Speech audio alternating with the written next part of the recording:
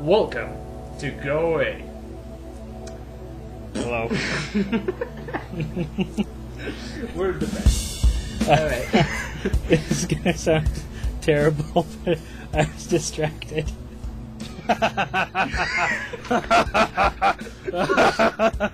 ah, damn it! There's a little black hair in this tape, Alright. Here's the like story. eyebrow hair or something. Alright. Here's the story. Uh, That's what you think. so, Here's the story. uh, I have a tradition.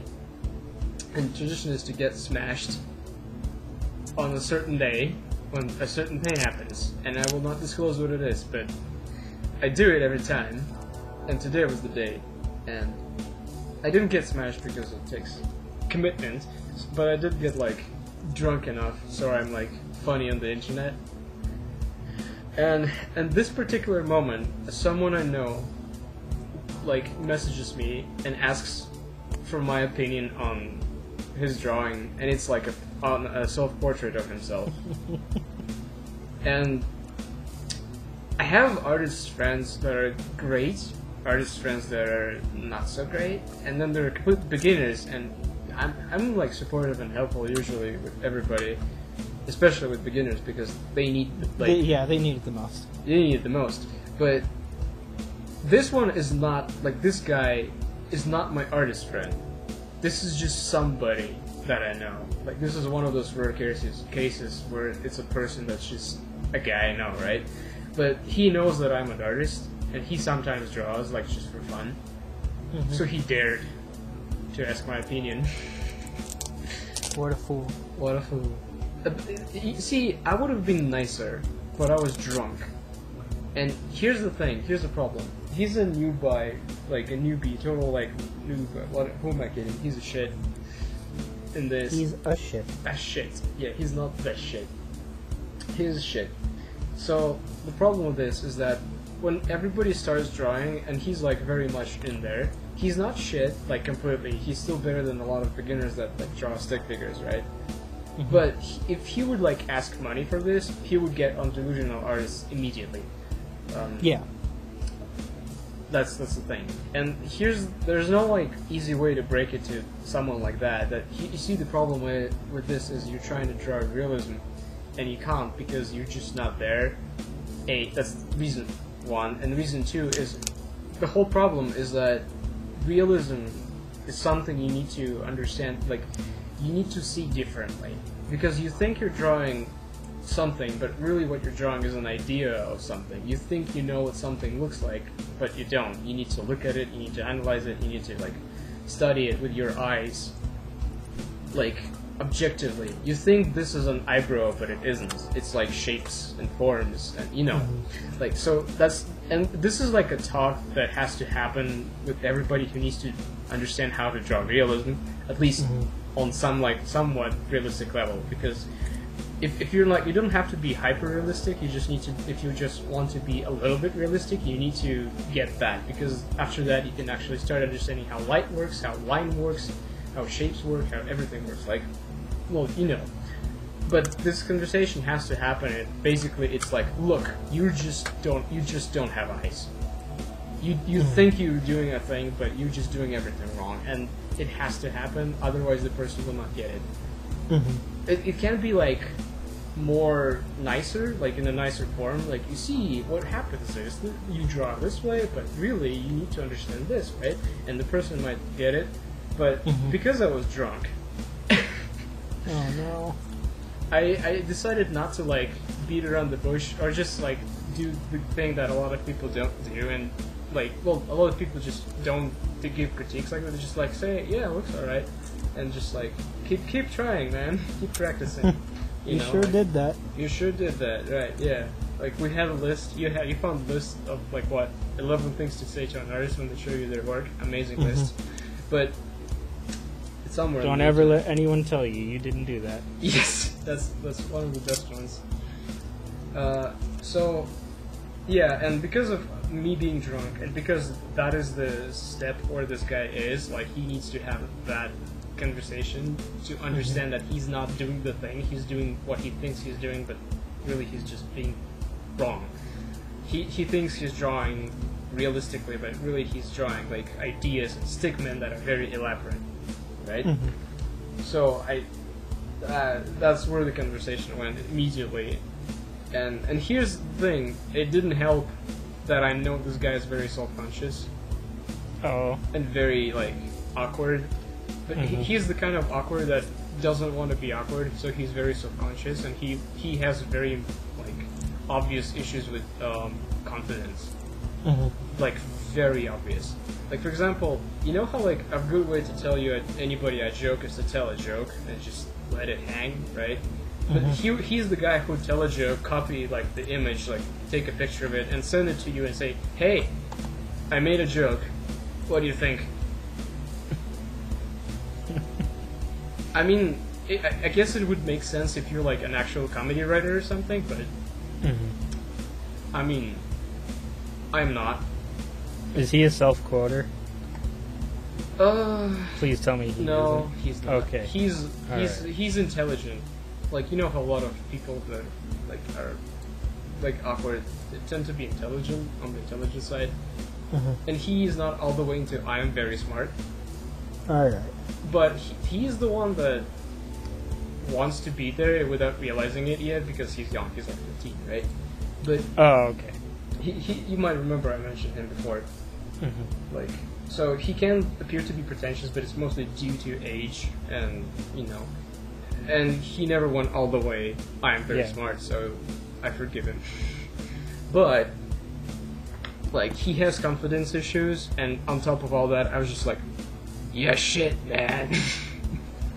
it's all crap, you don't understand. Like, but I wasn't like that bad. I was just, like, it was one of those when it's like, what do you think? And then I just take a gulp from my, like, bottle.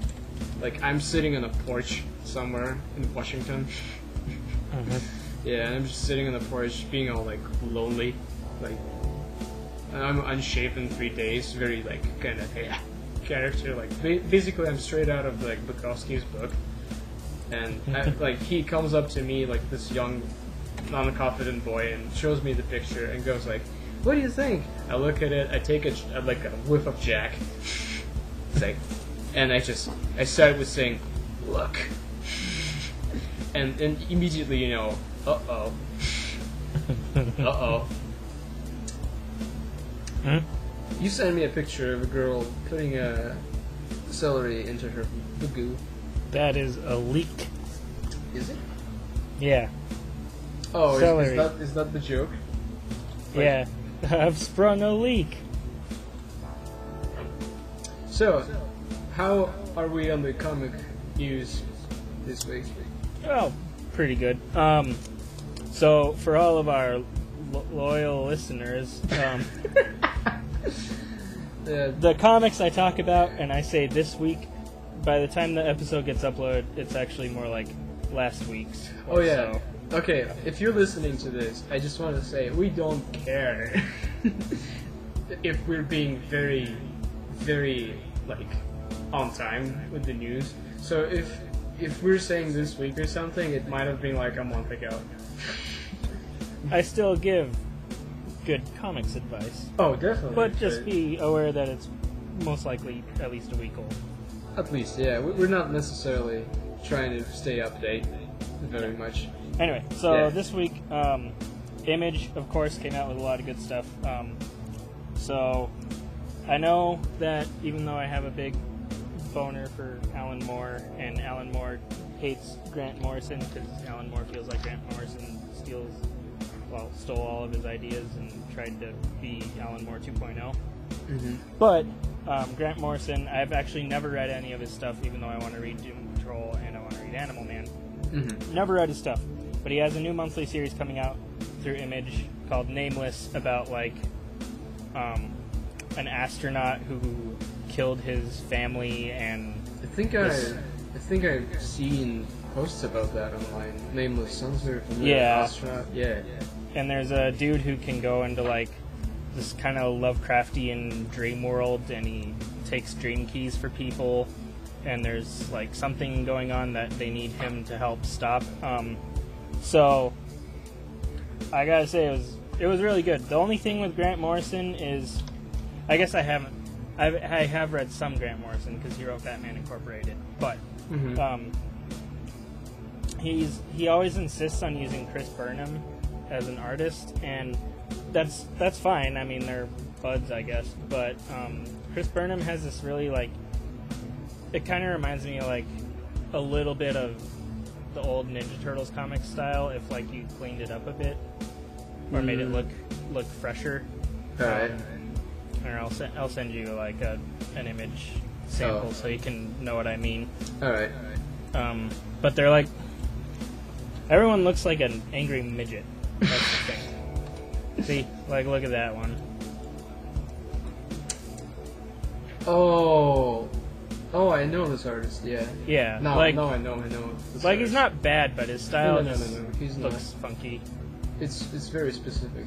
Yeah. He- He's one of those artists that got to be professional before they like went all the way learning realism. Mhm. I mean, kind like it's like quasi-realism, so you don't Yeah. necessarily care about everything being perfect. So your proportions are slightly towards something you want Yeah. it to be, which It's is a little, it's a little cartoony, but I mean, I, I can dig it. It works. Um, but anyway, Nameless. It's definitely pretty fucking good. I would check it out. Um, uh, Hmm. what else happened? Um, Postal got its first issue through Image and Top Cow Comics. Um. I'm gonna ask this question for, just because I want uh, this to be mentioned. It has nothing to do with the game. no, nothing to do with it. All right. Um, so what it is is it's kind of like uh, like a noir is not really quite the right word, but it's like a kind of murder mystery, uh, murder mystery thriller thing in the vein of like um, like X Files and Twin Peaks. Mhm. And the dude who's doing all the investigating is this um, this little mailman dude. Um, Mhm. with like autism or ADHD or something like that. I don't remember because I read it like a few days ago. Have you seen Monk, the series? No. I haven't, but I've heard that it's about something like that. Like the detective has Mm. OCD, so he's very Oh, okay. Yeah. But I Yeah. haven't- I haven't actually seen glimpse But of it, so. What makes Postal interesting, besides the fact that it's the detective is a fucking mailman with autism, um, is that it's set in a town called Eden that's populated entirely by two criminals. Ah. Um, Oh, I see. Irony. Yeah, um, everyone's a criminal, including the mayor, except for people who were born there. So, like the postal, the mailman dude, he's young enough that he was born there and he has no criminal record, and he's just a mailman. But So like, if, if you're born there, you just fucked. no, I mean, the thing about Eden is it's populated by criminals, but they don't, they're not allowed to break laws or some crazy shit happens. Oh, so it's just everybody with the criminal record is there, but it's still a normal place. It's not like a prison. It's not Well- like Arkham City or anything.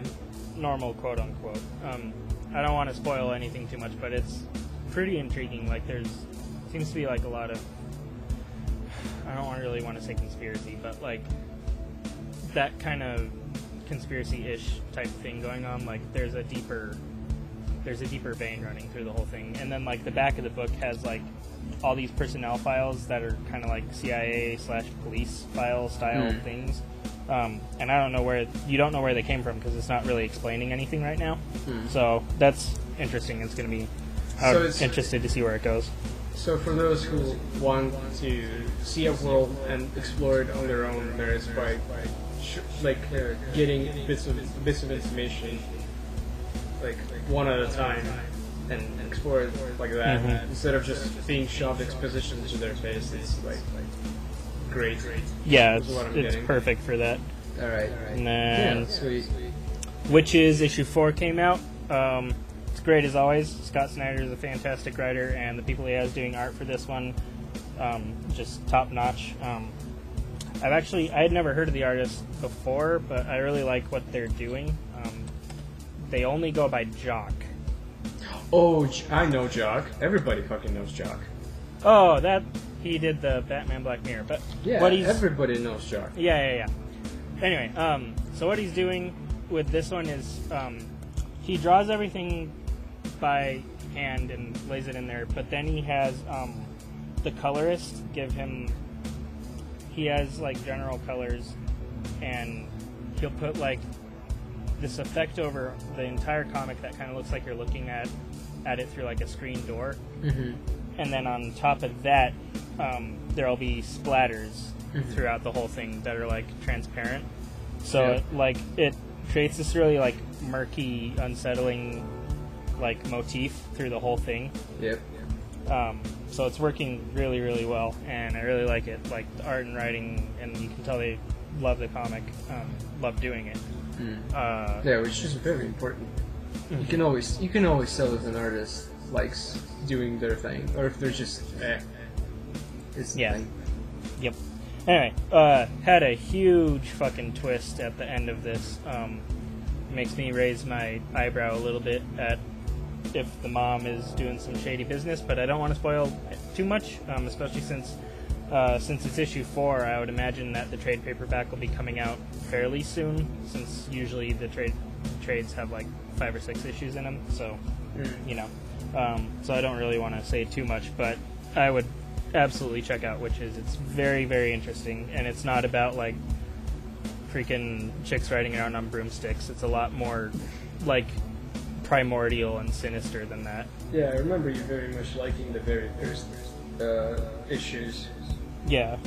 Uh, what else? Uh, Miracle Man. Of course, Marvel's finally reprinting that. Um, anybody who's actually reading comics at all knows that. Um, Alan Moore series, one of his first um, for the deconstruction in terms of superheroes.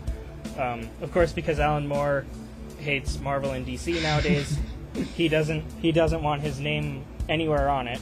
So even though they're reprinting it, um, if you didn't know it was Alan Moore, you would never know unless you like looked it up on Wikipedia because it just says by the original writer. Um, Really? I never knew that.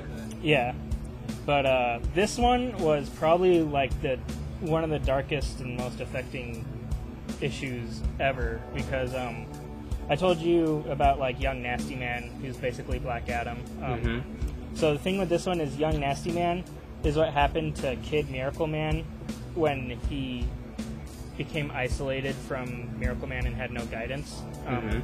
So he's like a fucking he's a teenager with all this power, Oh, and that's terrible. like yeah so that causes him to become something not so great and then like a bajillion issues back they thought they had stopped it by trapping like young nasty man kind of inside the inside johnny bates who is the who is the kid who's young miracle man. Um, because the way it works is like oh man i don't want to explain too much but you have um, the way the superhero system in this one works is it's like from the Cold War from the 50s, an alien ship landed that had some technology of some sort, and then um, like all these scientists took it so they could create an Ubermensch, and um, what happened was they figured out that you could keep the Ubermensch in a different dimension type thing, and then you would have a keyword that would like switch you, even though, but you'd still be occupying the same consciousness, if that Mm. makes any idea. Uh, If that makes any idea, if that makes any sense. Like Um, Thor. Kind of, yeah. Um, that's why I went. I showed you that one page where like it had all the dead things that had that, but they all had like two skeletons fused into one. Hmm. So when you die, that's what happens. The two bodies fuse together. Um, Mm, yeah. But oh, this one, yeah, yeah. I want to clarify. For if, if you were born too late to read the original comics, or maybe they're still doing that. I'm not sure. Thor is not just a god in the Marvel comic book universe. Used to be, at least. He was also a dude, yep, and they just share the body. And when he sees some shit, he just goes like, "Ah, better call my super thing." And he There switches. a- But now it's just like a, a Thor dude that's just in a place, and he doesn't need to share body or have a secret identity or anything. Yeah, just I, Yep. just to put this out there. there was an old Outer Limits episode about that, I think. But anyway, I don't want to get out off on a tangent. Um, Yeah. Anyway, so this one, Young Nasty Man, um, fucking Miracle Man was with Miracle Woman, who just showed up a little while ago. Um, they were with these aliens who like have this council of like intelligent races, and then they took notice of Miracle Man and Miracle Woman, and were like, "Well, crap! Now we got to do something about humanity because Hmm. they have this power now of Miracle Man and Miracle Woman." Um, so they were up there like on a satellite on the dark side of the moon, not satellite on the dark side of the moon, but I think they were on the dark side of the moon, like just kind of hanging around. And then they noticed that some freaky shit was going on in London. And so it cuts down to there, and it's like hell on earth. Because Young Nasty Man broke out of Johnny Bates' mind, so he's back. Um, and he just wants to fuck everything up. Like, there are people like impaled. London's just burning to the ground. their skins hanging on clotheslines. There are women walking around with their hands cut off. Um, like all that kind of stuff, and it's really like, ugh, and like probably the best line, like just really effective line in that was like it has a narration from Miracle Man running through the whole thing, and it's over the fight scene when he's trying to stop um, Young Nasty Man, but obviously it's too fucking late because shit's gone down the drain. But the the probably most effective line in that whole comic was um, in the narration when Miracle Man's fighting Young Nasty Man, and he picks up a car and uh, he says, There are some apologists who will say that the car that I threw at him was empty. And then he throws it. And then the next line in the narration is, I'm sorry to say that that is not the truth. and, like, you have to realize that now, with, since we've had Frank Miller and everybody, like, having that gritty, awful side of a superhero isn't really anything new. But at that time, um, in the very early 80s, that would have been something extremely shocking. Um, Wait, so are you saying that this is the whole like deconstruction of a superhero even before we had all these like Frank Millery things? yeah, Oh, I had no idea. yeah. Uh, well, so not, su- was, not surprising that Alan Moore was the first one to do anything like that. Really. well, yeah. I mean, yeah, we know that he did Watchmen, but I didn't know about like Miracle Man. hmm Well, hardly anyone knew, except for super comic nerds. Um, Yeah. Well, I mean, if you're a real comic book person, like, I think, if, if you were a real comic book person, I think, like, reading, like, Sandman and Alan Moore stuff, like, Mhm. especially mostly his, like, graphic novels, is, like, a must. yeah, Like, how can you call yourself a real comic book geek? And I don't mean, like, nerd, like, Batman. but, like, I mean, like, serious. Like, I really love the medium. I'm gonna write a paper about it. No, I'm not wearing shorts. anyway. Yeah. Uh, and then, man, I don't want to spoil the story too much, but like, You're super excited about it. That's yeah, it was. awesome. This was probably the best issue so far. Um, Yeah. so eventually, I don't want to say how. I want to leave some stuff for people to discover, but um, they stop young nasty man, and he reverts back to um, being Johnny Bates, and then um, Miracle Man goes over to Johnny Bates, and Johnny Bates remembers him, of course, and he's like, "Oh, you stopped it. There must be some way to make this never happen again, because like, it looks. Keep in mind, it looks like hell on earth at this time, and." And then Miracle Man's like hugging him and holding him like a baby because you know he's like a son to him, kind of. Um, and he's like, "Yes, there is a way to stop this." And then you see in the next panel, it's just a close up, and he snaps the kid's neck, and then the issue just ends. Drop the mic. Like, oh, that was mm, so powerful. Whoa. Here you go. Writing from the pros. And then Batman Eternal, they ti- they tied it in this this week with uh with Gotham Academy. Um, the chemistry professor from Gotham Academy was doing some freaky shit, um, kind of like a fear toxin, but instead of making you scared, it made you hyper aggressive. Ah. Um, that's about it. Uh, is that is that all the comics? no, no, Future's End. Um, Oh right. Future's End, Brainiac, the huge, enormous god, is on Earth now, Oh, and he's fucking everything up. is So- it like women with no hands, hell on earth, bodies in space?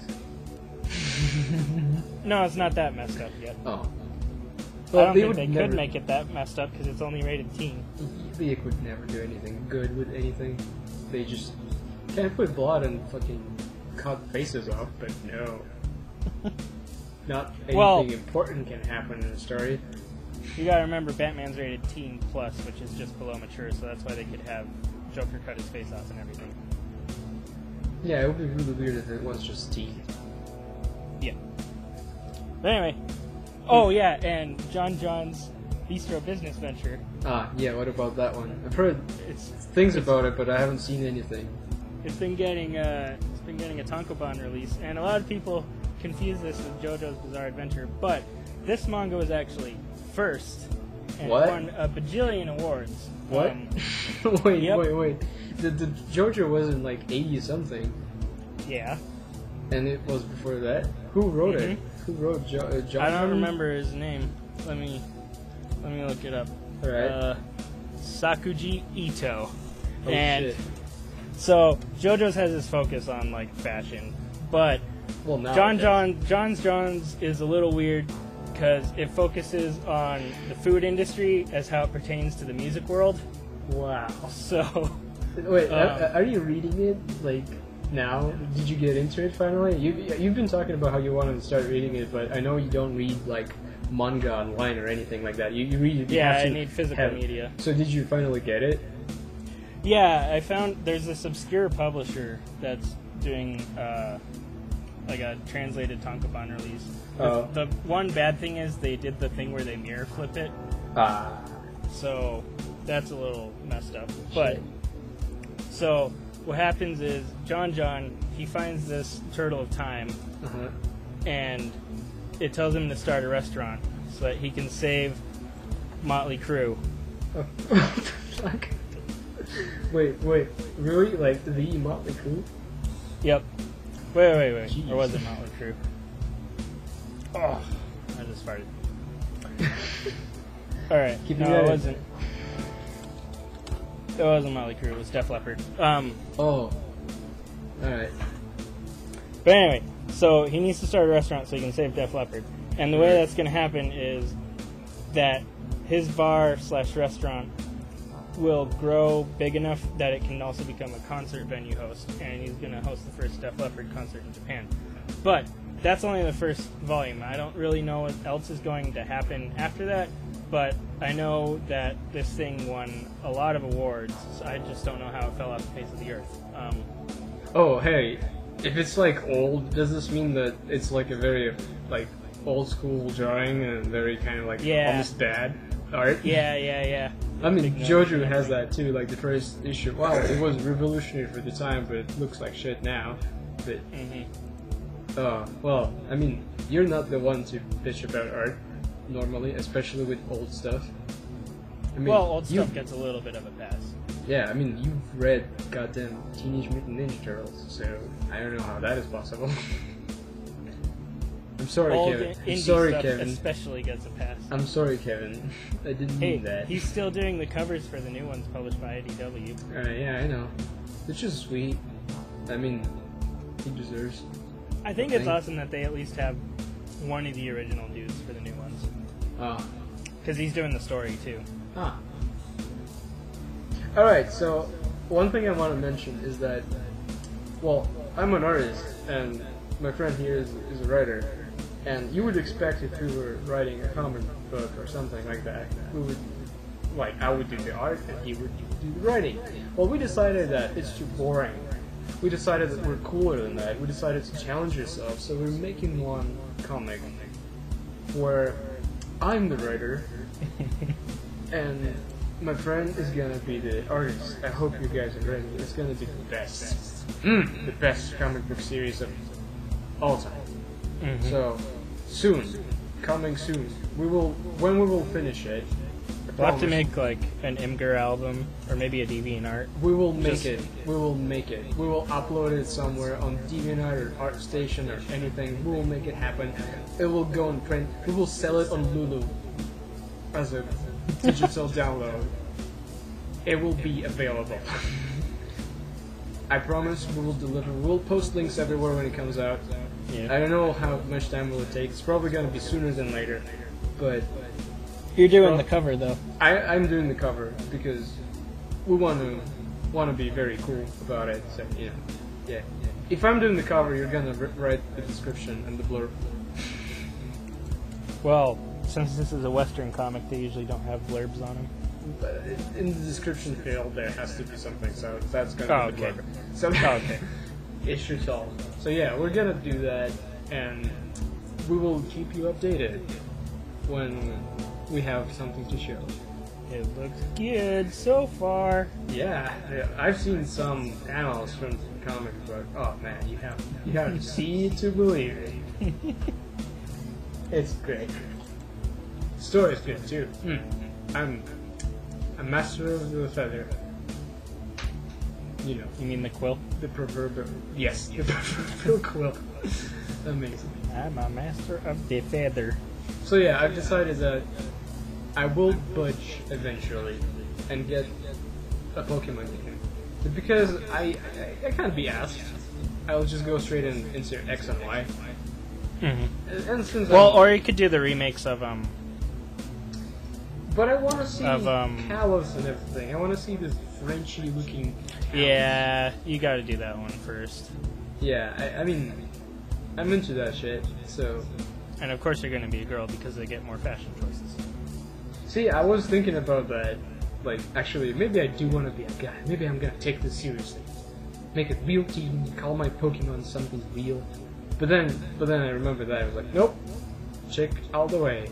You always got to be a girl. You always gotta be a girl, yeah. I mean, I'm, I'm always a girl. You're just a girl. Period. you're a girl inside, In my soul. in your soul. You, you're not only a little girl. You're ju- well. I mean, you're not just a girl. You are a little girl specifically. like, you're the one that sits in front of the table and goes, and it also has to be a Japanese girl because you're a weeaboo in the best kind of sense of the word. Some some people say weeb trash is a term, but I don't know. That sounds a bit harsh, but then again, weeaboo has a more negative connotation, so I wouldn't know.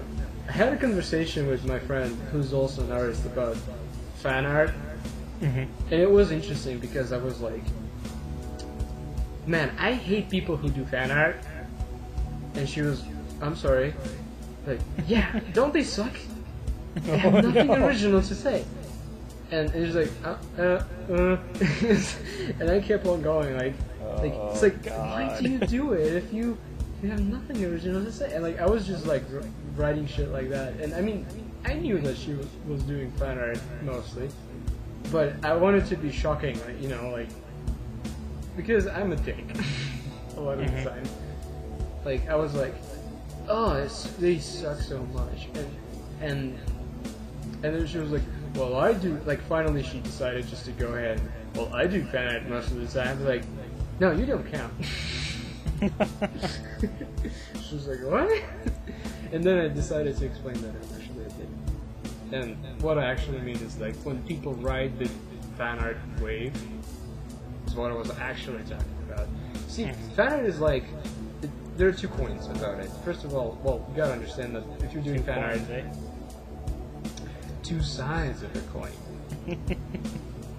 hmm Anyway, so what I meant is that usually people who do fan art do it for two reasons, and it's like, well, one of like it can be a combination of both, but mostly the reason number one, you're actually a fan of something and you want to depict it, Mhm. and the other reason is you want some publicity, and Yeah. and like I would like to. I'm, I thought about it and I thought about talking about it, and I decided that I'm not gonna name names and talk shit on other artists Mhm. that are way more successful than I am because well, it's just not cool. even if it's just for that reason. But what I do want to say that I really think that writing the fan art wave is kind of eh. And I know like you can do that and put on Patreon earn twenty five thousand dollars a month. Take a moment there. but I mean, so, some people would talk about like you know artistic value and stuff, but well, here's my like other opinion. So if you do fan art if, and you're doing it well, it has to be something you actually like. And mm-hmm. here's when I need to specify this because there's a lot of things people like, right? And you know, okay, okay, you know this whole nerd culture that's very popular, and there are like shows about it, uh, TV, goddamn it, like nerd becoming mainstream, like comic books are becoming mainstream. Now we're the OG here. We talk about comics. Nobody talks about it. Screw Batman. Except we totally talk about Batman. yeah, and actually, I think most of the comics I talked about, people, at least a few people are talking about. Well, except for John Johns. I don't know anything that you're talking about. I'm n- not here to judge. I'm just again being a dick for no reason really. But what I'm really saying is that like the whole nerd culture is becoming like mainstream and it's kind of silly at times and and it's like yeah I like Mario too I like Nintendo right I like Zelda and mm-hmm. sure you like it sure you might have played the game and liked it but I bet that most of the people who played it and really loved it like it means so much to them there aren't many of those Yeah. like most people who are into that and like, haha, nerd culture. Like, I'm not like talking about fake geeks because this that's stupid, right? Like, yeah. like I'm talking like actually loving something, like loving like just liking a game that Nintendo made and enjoying it a lot uh, is not the same as really loving it, like breathing and living it. And I'm sure that not a lot of people can say that they really feel like that about like Mushroom Kingdom. Hmm. I think Movie Bob is an enormous fan of Mario Universe, like all the way legit. But I'm not sure. I don't know him personally, so you know. But what I'm saying is, if you're like that, that's when you actually are a fan of something, and that's and that's why it's up to you to make that fan art because you have the unique insight it because you love it so much. You're not like other people anymore hmm. like you have a very intimate relationship with this property and it's like one-sided of course but you know you're the only person who can do justice to the thing and not make it true but have a very unique take on it Yeah. because you like it so much i don't mean like ma- depicting in a true fashion or something that's just stupid but like really having like something to say about it for reals for realsies Yeah. but yeah, and then on the other hand, you have people who are want publicity, so they're just like, uh, I'm gonna draw Hellboy. Everybody likes Hellboy. I mean, yeah, everybody does, but you drawing Hellboy doesn't mean that people like like you drawing Hellboy. They mean Yeah. they're just gonna like you because you drew a thing they like. It's Mhm. not helping you, but you did get those views, I guess. Sell out. No. Oh, also, just to mention, because I said it, the whole thing about fake geek, that's just stupid, isn't it? Like, Yeah, overall. Like, I mean, yeah, it's, it's like you need to be this nerdy. Like, imagine that, like, you know the rides in the Yeah. parks? Like, you have to be this tall to be on the ride. It's like, you need to be this nerdy to And- be accepted into nerddom. That's there's nothing wrong with being a casual fan. Um, I don't think you even like need to be anything like. Well, yeah, hey, there's nothing wrong with just being a casual fan of something. Like, yeah, you don't like. I, we were talking about like Constantine and how some fans are ridiculously, hilariously don't know anything about it. mhm. Well, yeah, but I mean, it doesn't have to be bad. Like, they're just enjoying it for what it is, right? It's not bad. Yeah. So, well, and everyone started somewhere. yeah, everybody started somewhere. But if you're a dick to them, they're not going to explore deeper. Well, everybody knows that nerds have a little bit of like this is our territory complex. Like they want to Mhm. defend it. Like it's not for you. Like yeah. Yeah. So that's stupid, and it like I think you, you can still be nerd if you're like not into things that normal nerds are into. Yeah, Like, and you don't have to be nerd about everything. You can be just nerd about one thing, yeah, and it doesn't have to be anything that normally look is looked on like. Like I, I still think that you can be a total nerd if you're like very nerdy about music history. Like all the way, you go like talk about Hildegard von Bingen, and that's your thing. Some Yeah. people say that's academic, but if you're actually enjoying that outside of like academia, or even Yeah. better, that's your hobby. like then I think it's very clear that you're a true nerd in the best sense of the word, and not the bad one. And it's Yeah. okay, and you're still a nerd, and it, you don't have to like Mario now. yeah. Hmm. So, uh, you're like, if no one, if no one here knows, uh, you're a composer, and And a writer. and a writer. And of many like, talents. you many things. Mm. Jack of Ladies. Mm, yes. and uh, and you finished a piece recently, and I've seen bits of it, and I actually don't think I've ever seen the whole thing together, but I- think you just published it. Uh, yeah, I've, got a couple that I published really something. Yeah, so I mean, like, now that you published it, do you like do you want to talk about what you feel about it? Do you feel proud of it? Do you feel like it's a Yeah. good it's a good thing you did? All right, talk, talk me through. I feel the- good about it. Um, Talk me through I'll. I'll talk about the most recent one Yes. first. Um, so I am trying to maintain at least some level of anonymity, so I'm not going to like name it or where it's published or anything. Um, even though that could cost me sales, but whatever. Um, so it's an arrangement of an old Scottish folk tune um, of an air, uh, and uh, well, I'm really into folk music, uh, which you know, but our listeners do not know. Um, I am very, very much into traditional folk music of various kinds, but I do have a thing, quite a big thing for Celtic music, especially.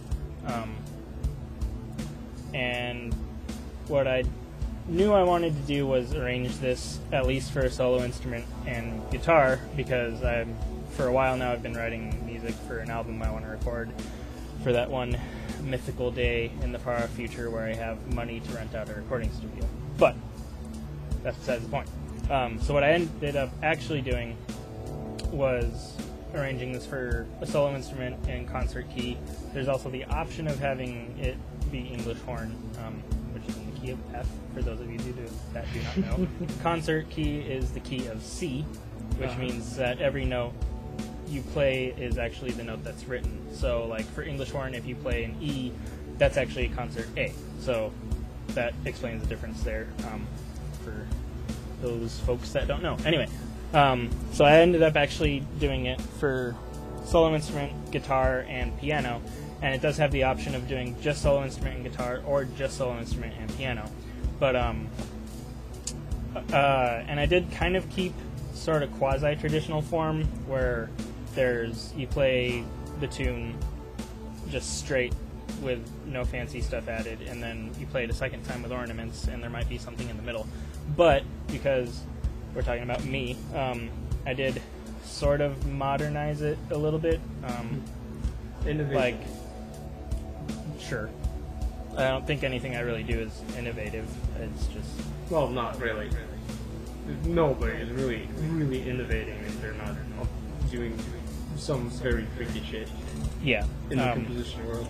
I do think I use some techniques that people Dude, kind of shy away from. clusters yeah, I, I love themselves. clusters. You like clusters, but the truth is, clusters are just like the only place it's ever used like metal and like unusual metal like that too.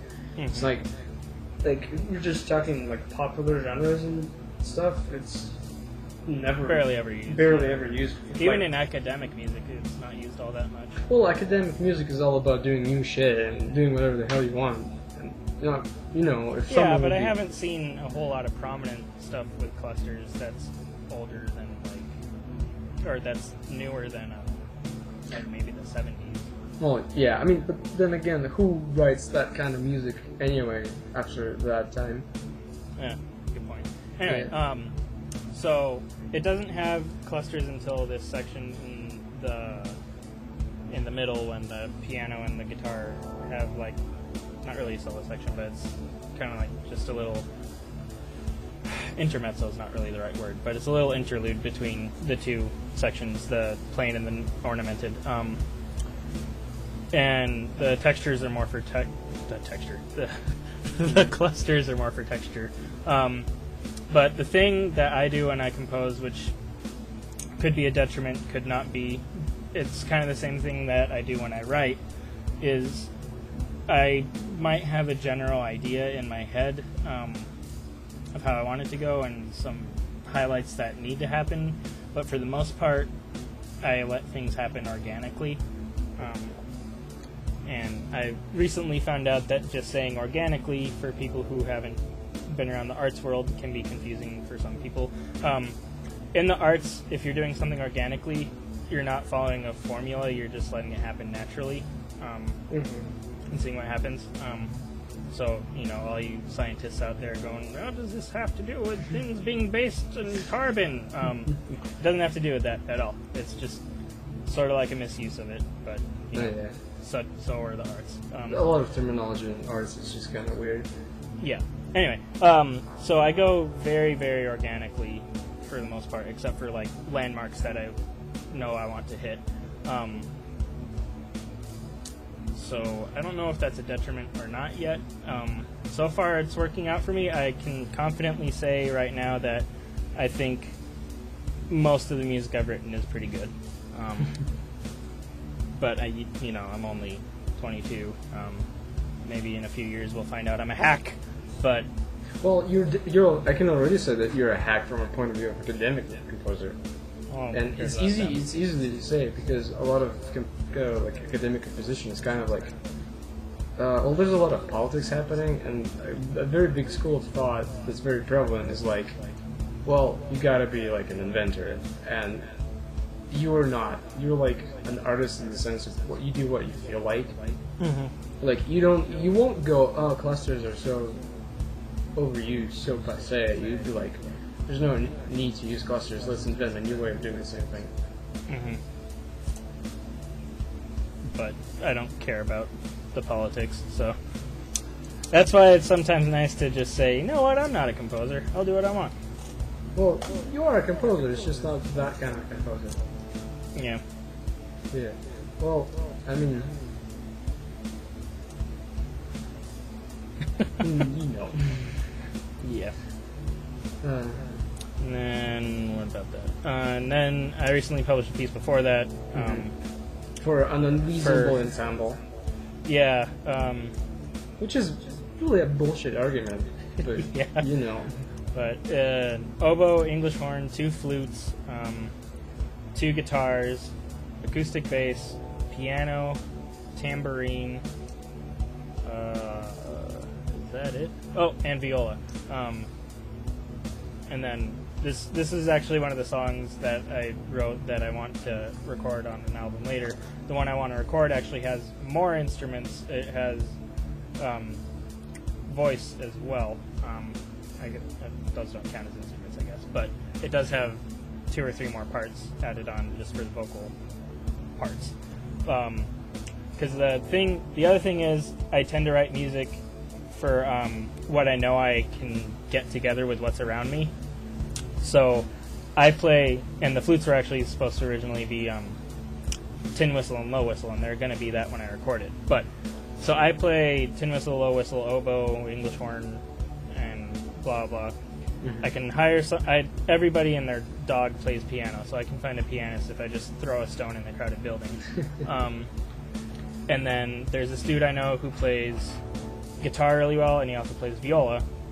Well, just to be fair, not everybody plays piano well. Like well. Yeah, but the part I was, uh, the part I wrote wasn't super Yes, hard. yes. So as long as they're competent, then, or not competent, fairly competent, then it'd be fine. Um, and then a dude I know plays uh, guitar and viola. I play bass very badly, but the part I wrote wasn't all that hard either. He also can figure it out if there's a part in there that's too difficult for me and I give him time to learn it, he can learn the bass part. So Mhm. that's no problem. and then singing, I would need to warm up and actually quit being a shy, stupid motherfucker. But I can do all right for an album. I wouldn't want to sing in front of a billion people in an opera house, but Yeah.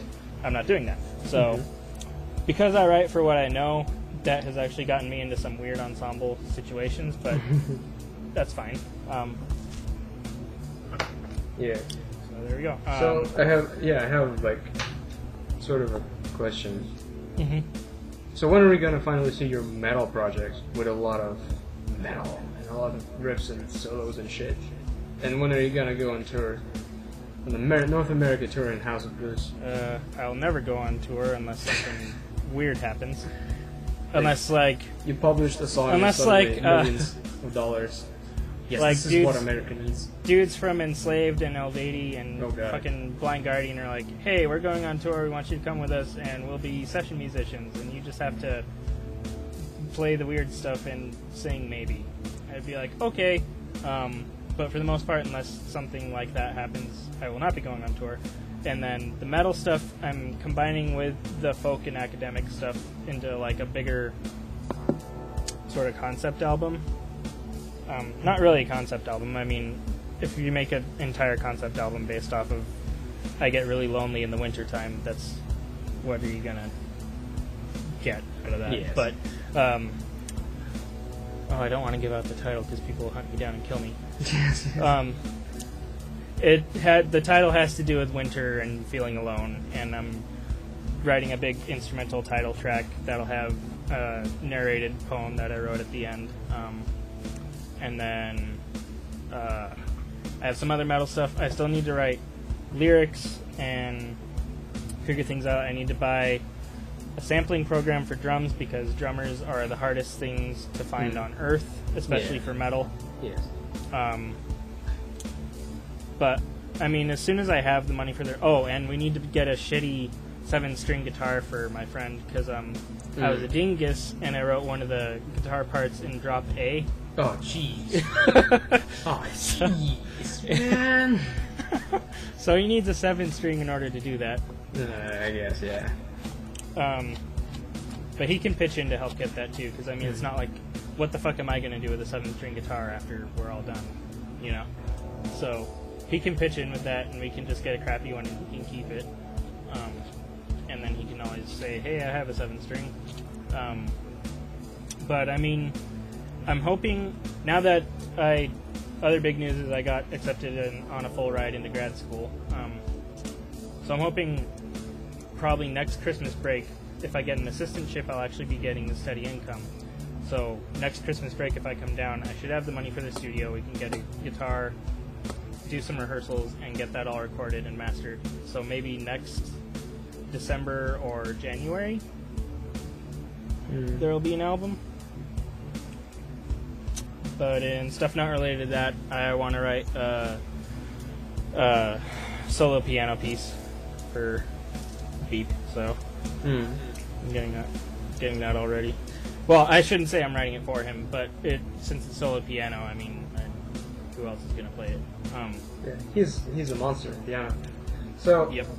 yeah, isn't it isn't it kind of like sad that I don't know. Maybe this is just me, but I like as a composer, I always. Oh, by the way, I also wrote music. Used to. Now I just mostly do art, but still could write music.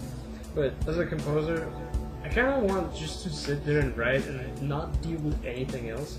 But if you really want good music and good everything, you either have to be some kind of weird genius, like very into sound engineering, to make it work. hmm like uh, but or alternatively you have to be very like social know people make connections and very like entrepreneurial make things happen. And i tend to be more like oh i am writing this and that and i'm gonna put it in my table. You know like just Yeah. yeah and, and that's not gonna make anything happen and it's sad but, like i mean academic environment is really good for that sort of thing Yeah, for making connections. That's one of the that's one of the things where music like studying music formally really really helps because you do make a lot of connections. Only Yes. problem is I made all those connections in the place where we studied that no one will ever know about. but then I immediately went home to Washington, Well, where those connections don't quite matter as much anymore. for now, Yeah, I mean, here's the, here's the thing about networking. You need to keep up the connections, and even if it seems like it doesn't matter, it, it's still an asset. But you don't quite know the value of it. So, Yeah. So, if, if by the way, listeners, if you're like uh, into art, we're sort of like kind of freelancers, but we're struggling. We're in the beginning. We're in the beginning, what we kind of. We're not even in the the middle, as it as they say. Yeah, So we're in the beginning of freelancing. We're getting some shit. It's not enough, but uh, so expect a lot of talk about that. But networking is important, and like what we suck at, well, basically networking. But like we, like, and everybody needs to keep up talking with like people because people are assets. I mean, that's a very sociopathic kind of thing to say, but people are assets, and you need. Uh, you need them. yeah, Yeah. yeah, you you need them, but like it's it's like it's weird because you you know it has to be mechanical and you need them for the very specific reasons, right? But you can't just I want to like here's your update once a year just to keep in touch with you because I might need you in the future. Like you, you know, like, you can't just do that. So you gotta be like friends with them, or at least in Yeah. touch. And sometimes it's hard to do because like you really don't care. It's like Mhm. hard, yeah, especially if you're some kind of like antisocial person, which both of us are sort of are, especially you. So, Yeah. so keeping in touch with people, like, like you could have gained probably more from the people that were there if you were like really trying or working at it, but we, because you see, we grow up in school environment, and in school environment, no no one really teaches you how the real world works. So if you want and become like Mhm. exalted in the way of being a misanthropic kind of asshole who doesn't have, want to talk with anybody, it's fine until you be, realize that you need it for real life Yeah. and you, you start learning or find yourself either giving up or deciding to start learning how to be a, like a social person like you don't have to be like social like change your habits but you need to be social to the point of like you could go to a party and not be embarrassed you know Mhm. like by the way my trick this definitely doesn't work for everybody like 100% sure that maybe not try it if you're not sure about it but just go to the drinks get drunk. Oh, slightly. get slightly Absolutely. tipsy get slightly tipsy. It will start you getting talkative friendly. If you find yourself to be not a friendly drunk do not do that. Oh, or if you have any alcoholics in your family, also yeah i mean don't ruin your life. don't don't don't. Yes. Oh, by the way, this is a thing I wanted to mention, but we, both okay. We we talked with you right about this, but I find like wanting to return to this all the time. But it's very easy to convince yourself, and I'm talking about yourself, about like becoming an artist and being committed to it, right? Mhm. Whatever your art may be, maybe it's poetry. Mhm. See, and like the trick is, uh, yeah, you gotta um, like here's the, the, the trick is in like everybody says like you, you you want to make it right. If you don't make it, quote unquote, like you're not gonna be successful. Everybody wants to be a successful artist, but it's hard. Like everybody knows it's hard but no one re- is really sure how it works business wise. So everybody thinks like it's just luck or something like that. So what you need is like basically yeah sure luck is involved, but you need you need like time for that luck to happen. I mean a lot of people talk about how like look at these uh, actors that got famous later in their lives even though they were completely unsuccessful early on, right? Some of them even stopped doing acting at one point.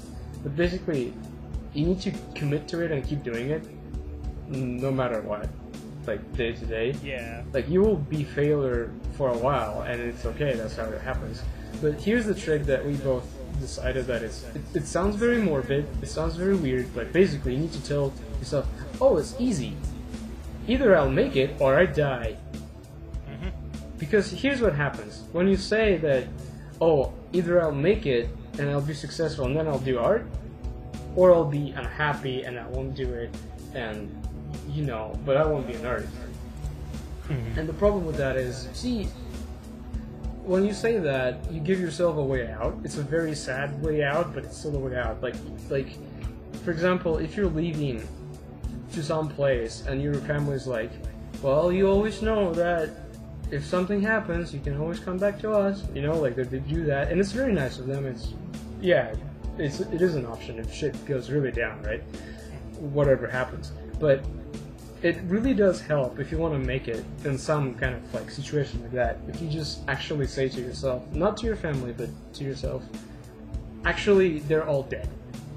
There is no home. There is nowhere to come back. See that with that thing, you're not gonna actually like the chances of you succeeding are gonna go way off more because you'll be more desperate. You'll try more things. You'll Mhm. like when shit gets real, you will not give up because it's easy to give up when you have a, like a way out. When you don't have a way out, it's either this or death.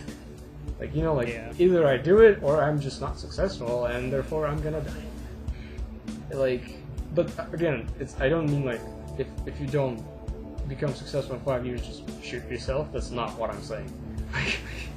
My point is like think like as if death will claim you if you don't become an artist. Like eventually, there is no timer, there is no limit, but Yeah. that's the thing that will happen. You, you need to like it. I find it very relaxing because it's easy. You don't think about like, oh, I gotta go back. I gotta go to the place hate. People that live there and never left the city. Oh, this is terrible. This town. I wanted to go see the lights of New York on Broadway. I'm a, like a like a dreamy actress. I want to make it, you know. And I mean that's a very hard thing to do, by the way. But if if you commit to it and say that there is no way out, chances are failure is not an option. Failure is not an option. Like, probably there's a higher chance of you succeeding, and I think like that's it's, it sounds very morbid. And if you try and explain that to your mom, she will think you're insane and probably tell you that it's a very bad idea to do it. But secretly, this is a great thought. I think for well, maybe some people, maybe not everybody. I I wouldn't say I'm sure, but you know, just as a thought. There you go. All right, one more thing that I wanted to say. You well, while talking about music, remember you were said that you know like sad, winter, depressing, lonely, all those mm-hmm. words that you mentioned. I want to plug this album one more time because all right, for those of you that don't know, which is most people, I have a very silent rule, like that I don't really talk about. If I see an album and it has really nice art that I love, like really nice, I am obligated by myself to listen to it. That's a very sh- kind of like some would say it's a stupid rule, but I just like that rule, and I, you know, I'm an artist, so I, I feel like that's what I'm doing. And if I see nice art, I feel like they cared about the thing I care about, and I care about nice art for the covers. Yeah. So I give it a listen. Not most of the time, it's not necessarily anything good. I'd be like, yeah, it's good, but I, I'm not keeping it in my library, right?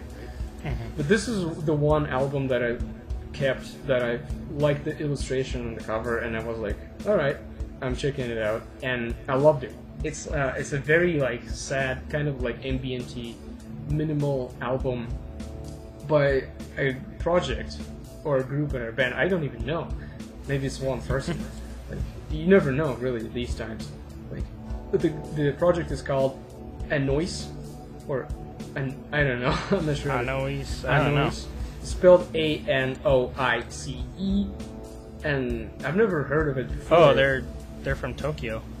Oh, that's interesting, right? But they are like very sad, So, interesting, kind of like eh? experimental. The album is called The Black Rain, and I've given it a go, and I've listened to it like twice all the way through. It goes to post black at times. It's very minimal. At one time, it actually sounds like almost like Arvo Pärt.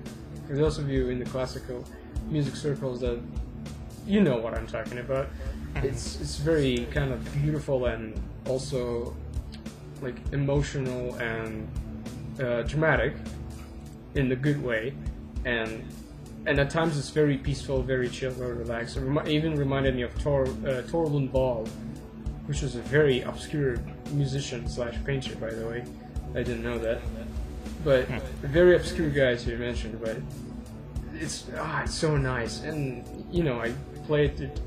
On the cover, you see a girl sitting like desperately crying on a hill with her like feet hanging off the steep hill, and it's all like black and white. The only color that is her like little, um, little like uh, bow ties on her shoes, and she's crying, and it's raining, and the album's called Black Rain. The sky is black. It, it's it's very sad, very depressing, but very beautiful. So I would highly recommend this thing. So you know, plug, plug, plug. yeah, there you Yep. go. Yep, yep.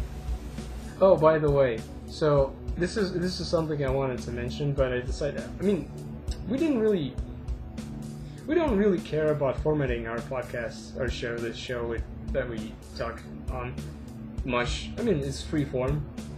Yeah. We just have general ideas, but um, the last episode ended kind of abruptly, which I didn't care about much. But if you're weirding out about the last couple seconds, that is our ending theme, Which I wrote. which yeah is composed by my friend here, and we're so very proud of it. so don't freak out. That is the ending theme. When you hear that, that means it's over. Yep. Yeah.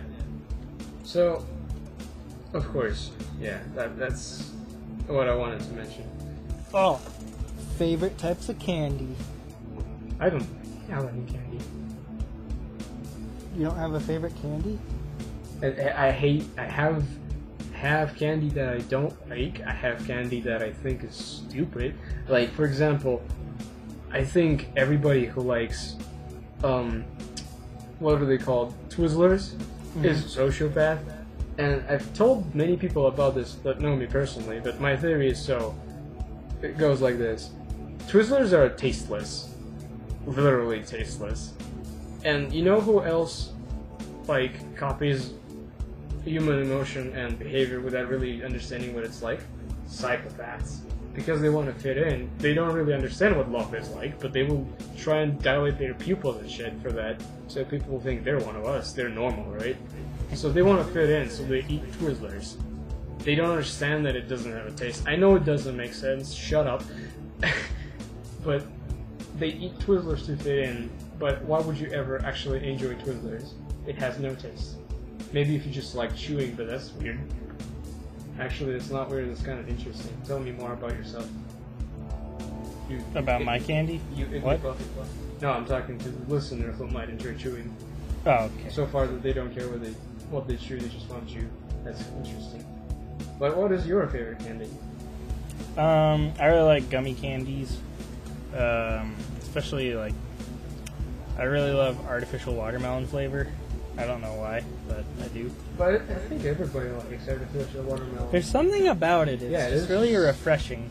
I don't know. It's weird. I, I agree. I like it too, but I every time I eat it, it's just it's so like good. I feel weird. It's like, hmm, this orange is like tasty, right? But this watermelon is just like weaponized. hmm Hmm. I, I feel weird about it. Well, it doesn't taste anything like watermelon. For, By the way, I decided. Yeah, I decided that um, pomegranate is my favorite fruit. But they're the devil to eat. Well, you know, I made the decision.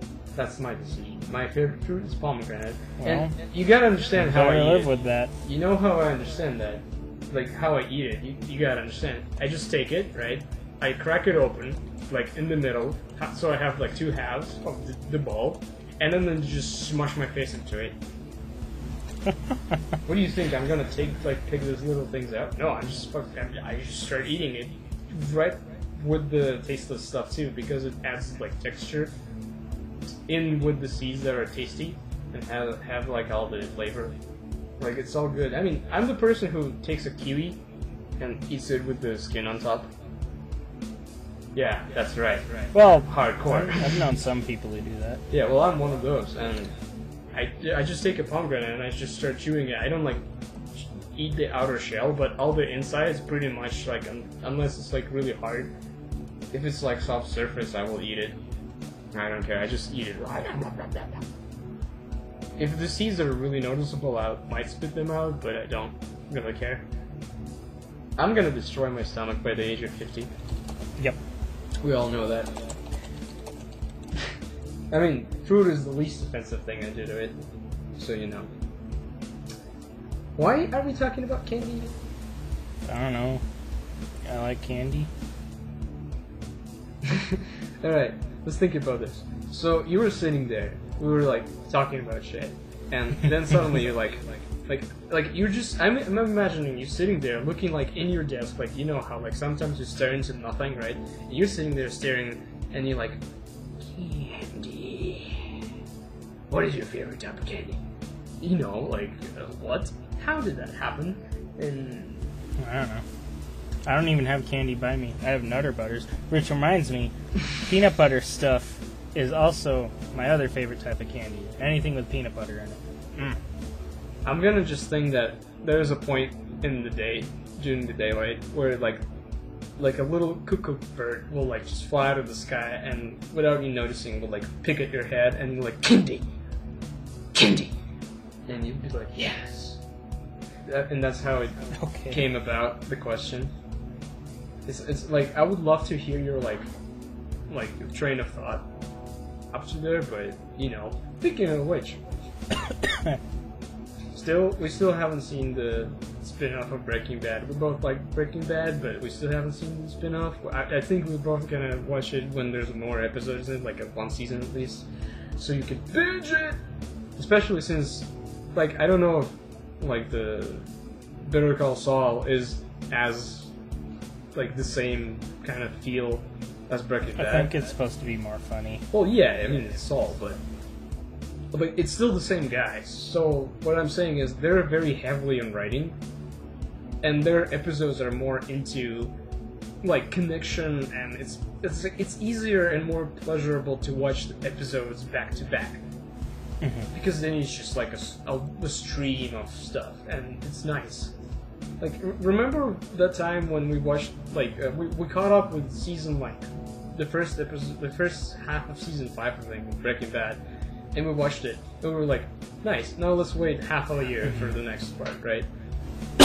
or was it like a couple seasons or something? I mean, like weather seasons b- between them. And then when we started watching the, the last bits, we were just like, I don't really remember much about what happened like the very end. So I personally rewatched it. You didn't, so we were like kind of stri- struggling to remember some bits of it because we have no memory. Especially me, I have no brains. I survive with connection, a connective tissue instead of a brain. I don't know how it works. I'm just a spider, really. There's web inside my brain. There is no brain. There is web in my skull. Also, I am a banana. I think I'm like